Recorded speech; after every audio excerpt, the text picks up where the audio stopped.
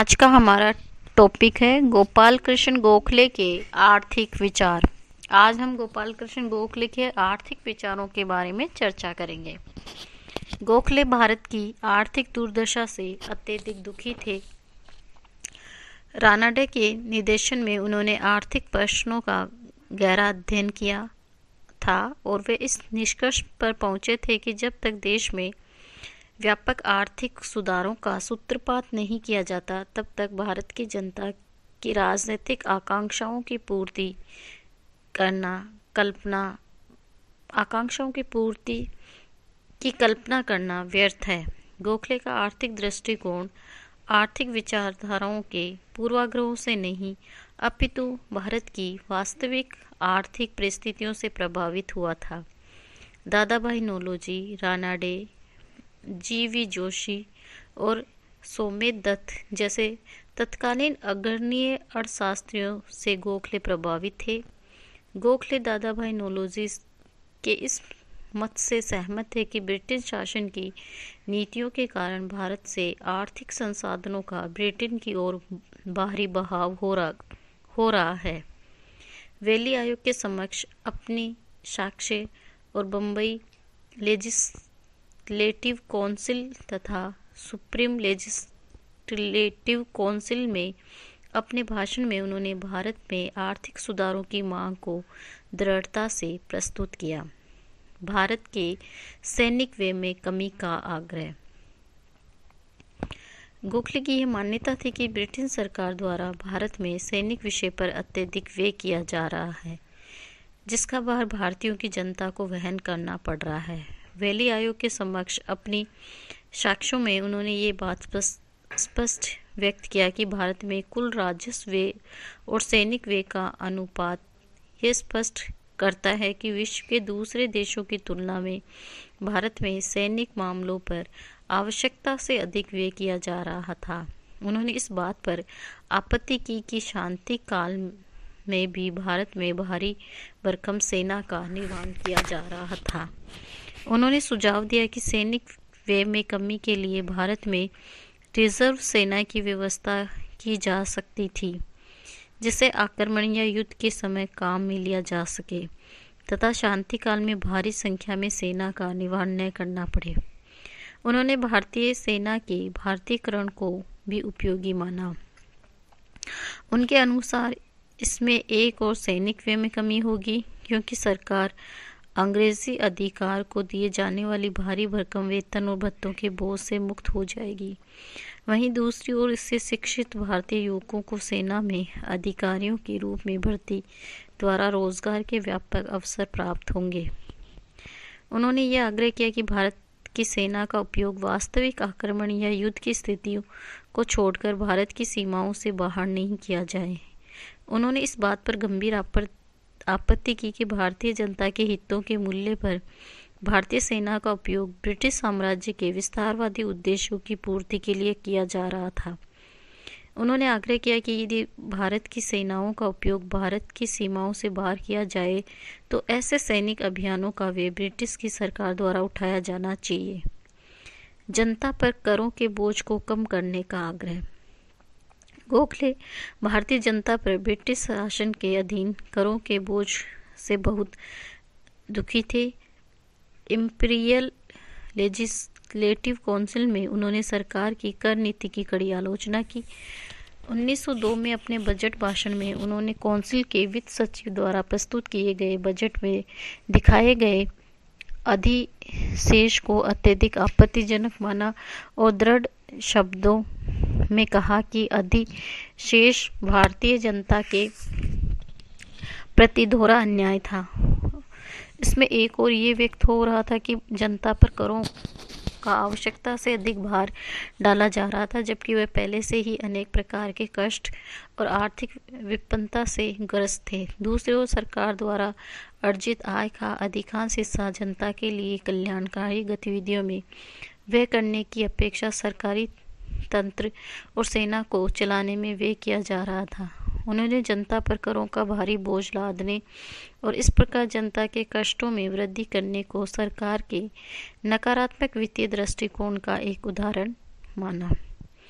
कर व्यवस्था में सुधार के लिए गोखले ने अनेक सुझाव दिए, जैसे अकाल के समय भू राजस्व की माफ़ी, आयकर से मुक्ति की सीमा में वृद्धि, सूती कपड़ों के उत्पादन पर अंबाकारी ड्यूटी की समाप्ति तथा नमक पर कर की दरों में कमी आदि।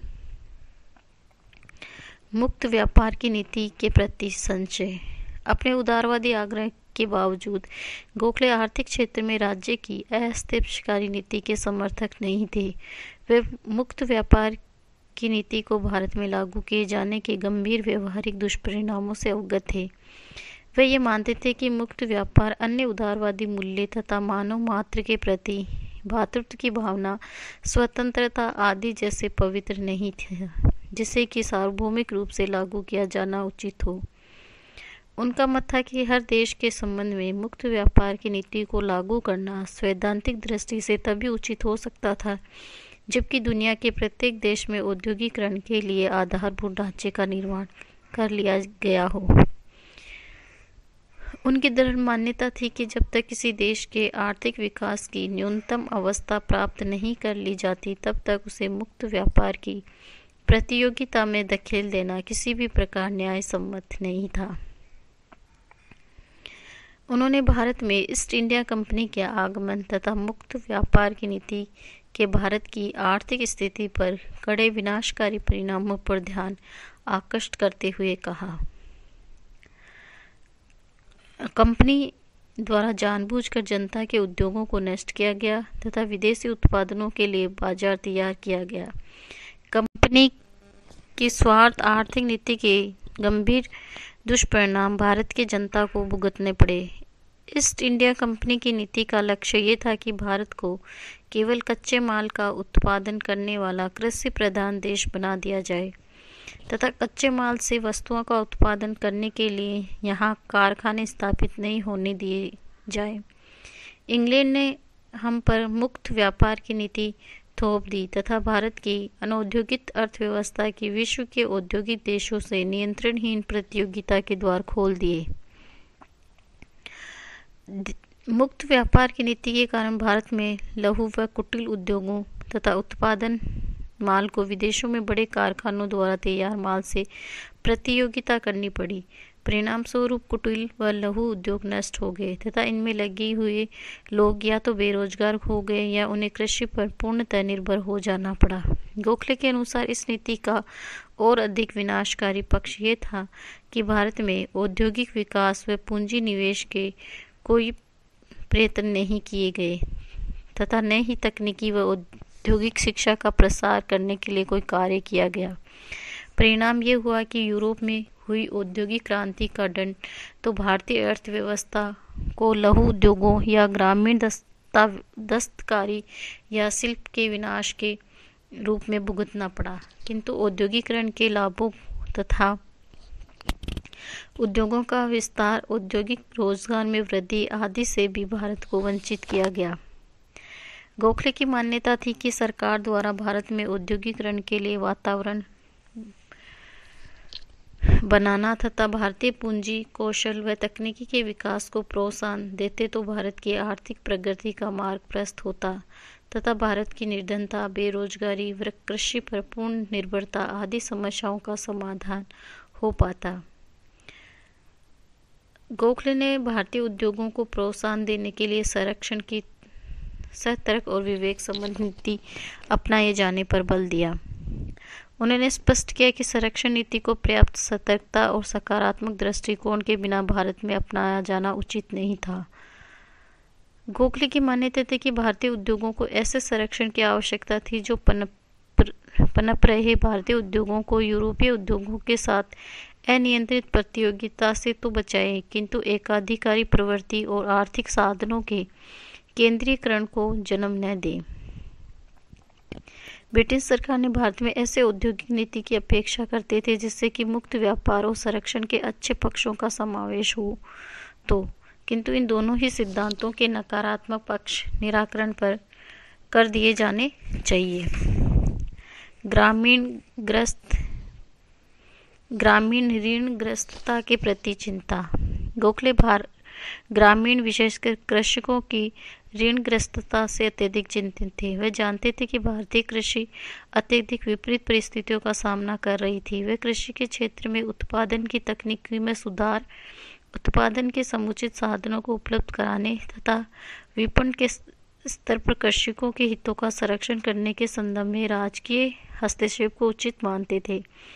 वे इस तथ्य से अवगत थे कि कृषि और ग्रामीणों को अपनी कृषिता और अन्य आवश्यकताओं की पूर्ति के लिए महाजनों से अथवा अन्य व्यक्तिगत स्रोतों से ऋण लेना पड़ता था, जो वे अपनी भूमि, कृषि भूमि या अन्य संसाधनों को गिरवी रखकर ही प्राप्त करते थे।